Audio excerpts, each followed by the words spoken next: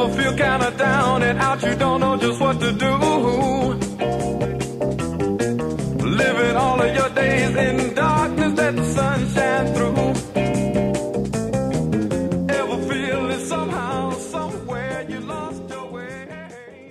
All right, so this piece is called Hold Everything, and it's by a painter that did pinup girls in the 40s, 50s, 60s, and even 70s. His name is uh, Gil Elvgren.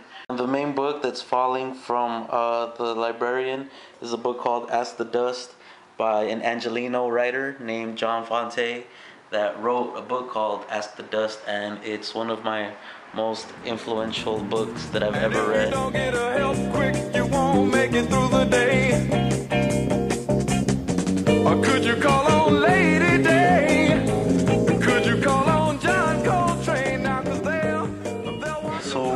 What I just did was just put a little, um, you know, vitamin stuff on it because it's on the first session of peeling. I don't know if you can notice the face right there is beginning to peel, you know.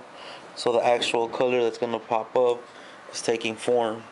This is a natural process in any tattoo. Uh, more so in this one with the color, because then we're gonna see what the actual color becomes.